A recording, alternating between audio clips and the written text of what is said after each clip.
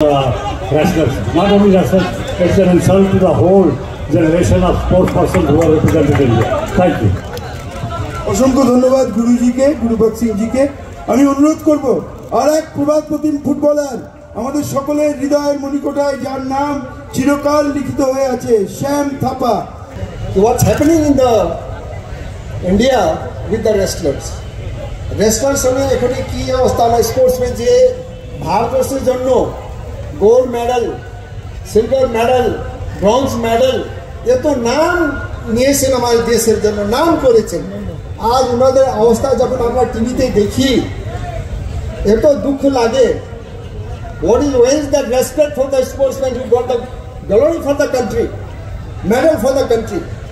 একমাত্র আমার এখানে আমি দেখছি আমার দিদি যেভাবে স্পোর্টসম্যানকে ভালোবাসে আজ সব আমরা এখানে এসেছি এটা হওয়া দরকার।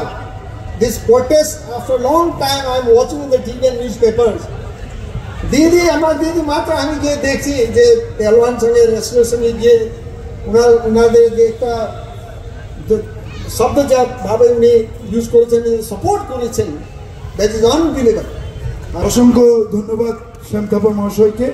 এবার আমি বলব, যার নাম মিলখা সিং পিটি উষা এবং জয়দীপ কর্মকার। একই লাইনে লেখা হয় অল্পের জন্য, ভাগ্যের জন্য যারা অলিম্পিকে চতুর্থ হয়েছিলেন সেই জয়দীপ কর্মকার, শুটার জয়দীপ কর্মকার অলিম্পিয়ান আজকে আমরা মাননীয় মুখ্যমন্ত্রী, আমাদের প্রিয় দিদির আহ্বানে সব যে ক্রীড়াপ্রেমী, খেলোয়াড়রা, সে যে লেভেলেরই হোক, সবাই একত্রিত হয়েছে। একটাই কারণে আমরা অলিম্পিক্স গেছি। আমরা জানি যে সারা জীবন কত কষ্ট করে অলিম্পিকের পর্যায়ে পৌঁছানো যায়। সেখান থেকে হয়তো আমি অলিম্পিকের পদকটা অল্পের জন্য পাইনি। আজকে যাদের জন্য আমরা দাঁড়িয়ে রয়েছি, এসছি আমরা সবাই, আমরা কিন্তু জানি যে তারা পদক পেয়েছে, কিন্তু তাদেরকে আমরা রাস্তায় ঘোরাঘুরি খেতে দেখছি। এই দৃশ্যটা ভালো নয়। এবং আমার মনে হচ্ছে যে এই যে আমরা খেলোয়াড়দেরকে সম্মান জানাই, তারা যখন পদক জেতে তাদেরকে আমরা অনেক সম্মান দিই।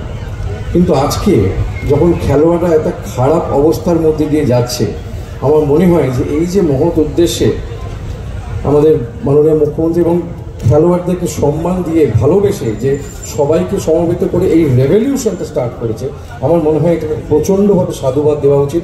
খেলোয়াড়ের ভালো সময় যেমন আমরা থাকব, খেলোয়াড়ের বাজে সময় যেন আমরা সাথে, সাথ দিতে পারি। আর তাই জন্যই আমরা সবাই এখানে হয়েছি এবং আমরা চাইব যে খুব তাড়াতাড়ি এই ধরনের যে খুব বিশ্রী আমরা ইমেজেস দেখতে পাচ্ছি আমাদের ভারতবর্ষের খেলোয়াড়দের নিয়ে সেটা মীমাংসা হবে এবং খুব শিগগিরই হবে। এবং প্রথম যে এখান থেকে রেভলিউশন শুরু হয়েছে, এত জনমানুষের যে ঢেউ এখানে এসছে তাদেরকে সাপোর্ট করার জন্য, এই ঢেউটা কিন্তু পৌঁছাবে বহু দূর এবং সব আরও ঢেউ মিলবে এর মধ্যে। কিন্তু শুরু যে এখান থেকে হলো, আমার মনে হয় এই ঢেউটা অনেক বড় সুনামি হয়ে। আলটিমেটলি আমাদেরকে সেই ফাইনাল যে একটা জাস্টিস আমাদের খেলোয়াড়দেরকে দেবেই নিশ্চয়ই খুব শিগগিরই। অসংখ্য ধন্যবাদ। অসংখ্য ধন্যবাদ জয়দীপ কর্মকারকে। আমি এবার ডেকে নেব আরেকজন গ্র্যান্ড মাস্টার দিব্যেন্দু বড়ুয়াকে প্রথমেই আমি আন্তরিকভাবে কৃতজ্ঞতা জানাই আমাদের সকলের প্রিয় মাননীয় মুখ্যমন্ত্রী মমতা দিকে। দেখুন, খেলা এমন একটা মাধ্যম যেটা কিন্তু জাতি, ধর্ম, নির্বিশেষে সমস্ত কিছু ঊর্ধ্বে থাকে।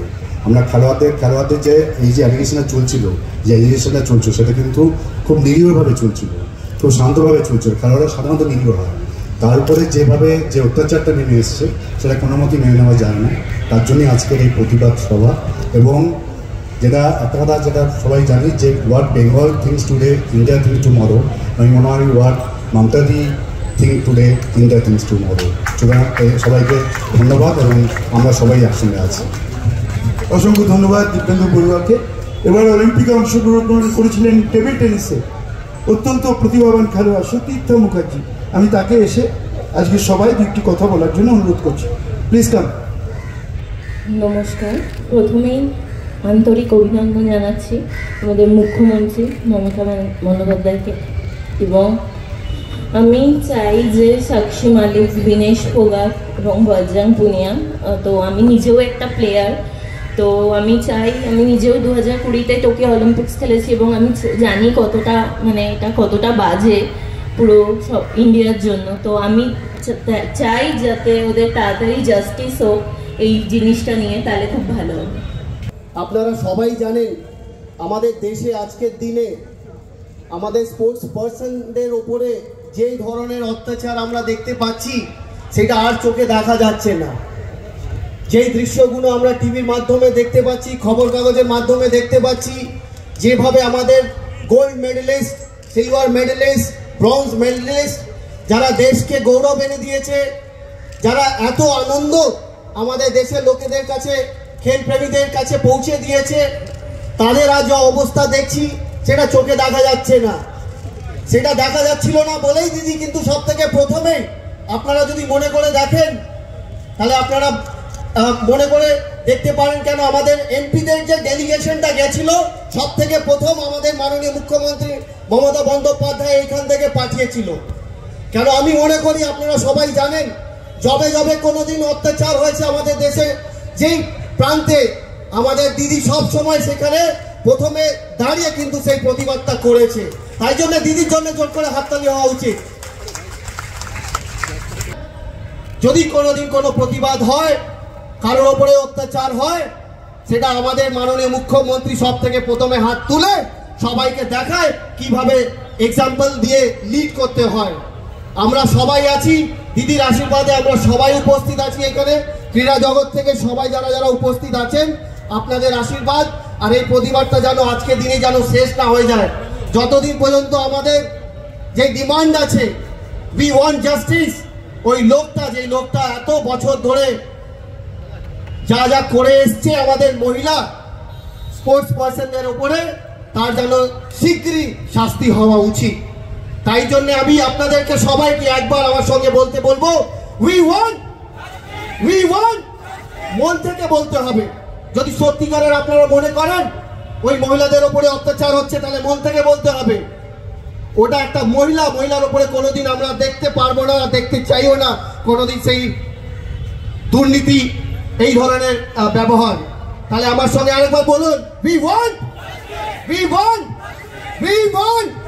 অনেক অনেক ধন্যবাদ। আপনারা সবাই ভালো থাকবেন।